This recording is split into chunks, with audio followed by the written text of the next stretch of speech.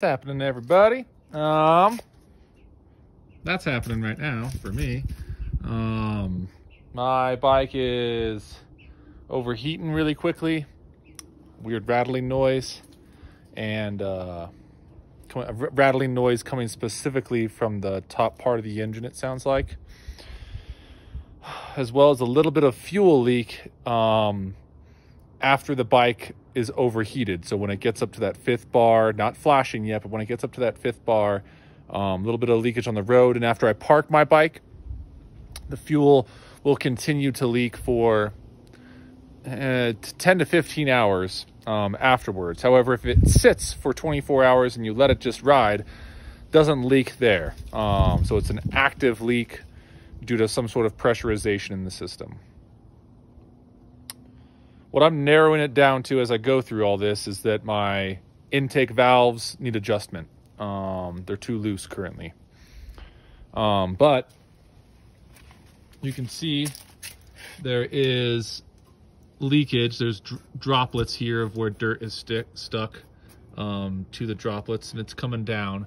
And so after running the bike for a bit and letting it heat up, I'm pretty sure that the adapter to the fuel filter, so the the, the pump for the fuel injector sits inside the engine, pumps it on out through the fuel filter, goes down and into my um, fuel injector right here. You can see the little electricity attached.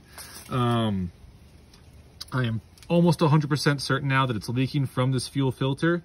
And on top of that, it is leaking from the output side where it goes into the mo motor. So, not like super mechanically inclined. No one's ever taught me too much. A little bit about carb rebuilds from my father in the past and um, you know oxygen gas ratios, but mostly been self-taught. Um, what I believe is happening here is my intake valves are loose. Um, this probably happened because, well, last time I had them adjusted was at about 500 miles and I'm getting close to 5,000, so they've loosened up.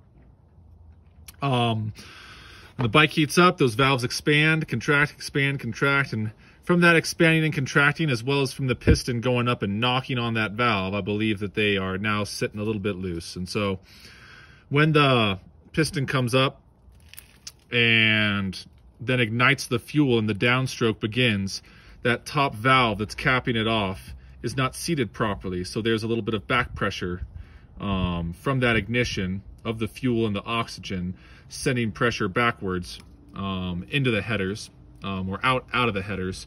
And the only place that that can really escape um, are one of two places.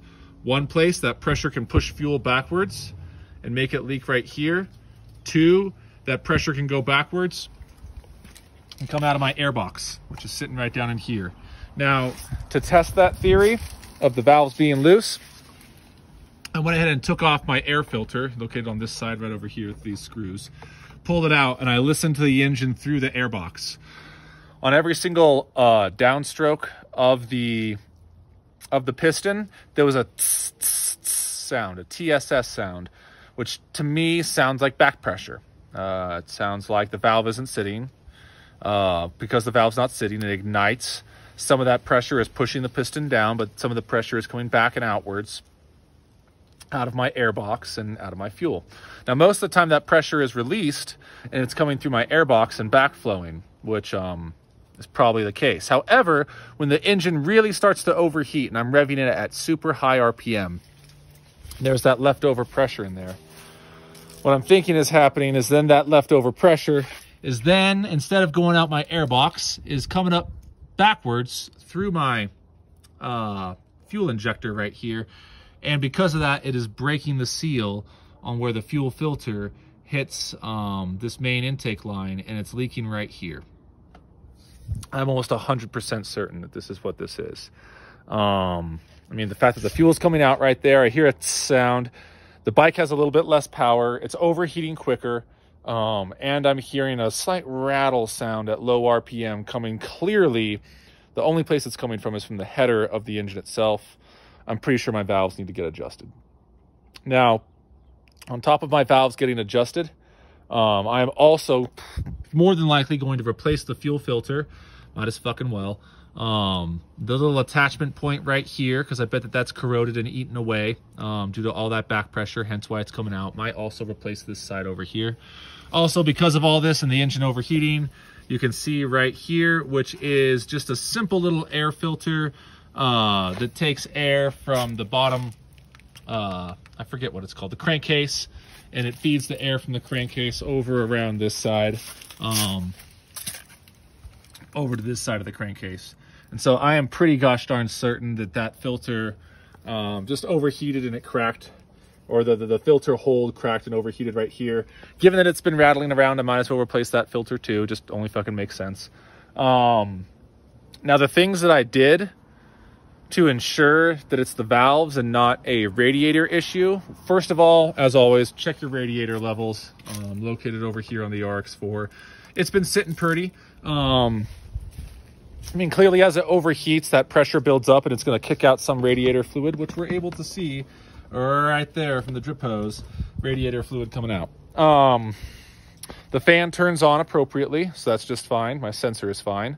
Um, the radiator sensor is fine, whatever the fuck you want to call it, the coolant sensor. Um, thermostat, that's the word for it. The thermostat's sitting just fine, um, and it's telling it what to do. Um, odd thing that I found though was that the RX4 tends to not kick on the radiator fan until you're in gear. So when you're at a stop, it's typically not running unless you just had it in gear. If you keep it in gear and just turn on the bike and rev it and heat it up that way, radiator fan doesn't turn on until you pull in that clutch and shift it into first, then it kicks on. Kind of a weird electronic issue. I would think that they would also run when you're at a stop. Wouldn't be dependent of that. But those levels are good the fluid's draining through properly. The radiator itself is getting hot, and so you know that there's movement from the engine into the radiator and circling back down in order for it to get hot and the thermostat fan to kick on.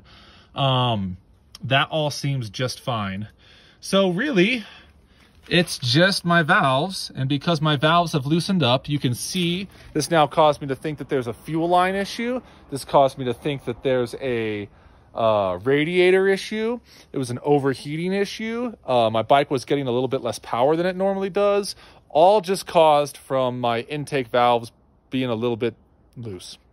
Um, taking me some investigative work in order to figure all this out, but uh, I gotta say that I only figured all this out due to the online videos. Um, the CSC, California Scooter Company, posts about their motorcycles and the, the tutorials that they have on their website um, regarding these things. So, I will say that if you are just a little bit mechanically experienced you want a good bike to start working on and learning how to do, I think any of the bikes in CSC's line are a great starter um, because they give you a lot to work with. Um, I was this close to reaching out to Joey uh, was a mechanic at CSC and decided not to. I wanted to fiddle it with myself and see if I could figure it out. Um, hopefully, I can go ahead and buy uh, the valve adjustment tool from CSC. If not, just buy one myself. Do the valves myself. Be the first time I've ever done it. Um, but I'm feeling fairly confident. Also have a friend in town who's a great mechanic. He'll help me out with it. He's done his the valves on his bike loads of times. Um, and then hopefully after I seat the valves, change out the fuel filter, replace the fuel fil filter adapters for the hose lines, and then also replace the, uh, the little air filter that's right here for the cam, um, and the little amount that it attaches to that is broken off. Um, I'm pretty sure the bike is going to be running great after that. But couple weeks of riding and uh, a couple other things but for me to figure that out.